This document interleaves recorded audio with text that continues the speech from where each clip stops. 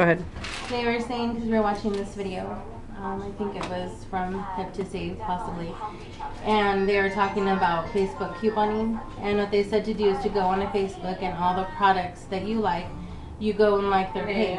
You put your email address. Um, so then you subscribe to their weekly newsletter, and then you receive emails on when they have coupons on Facebook that you can print.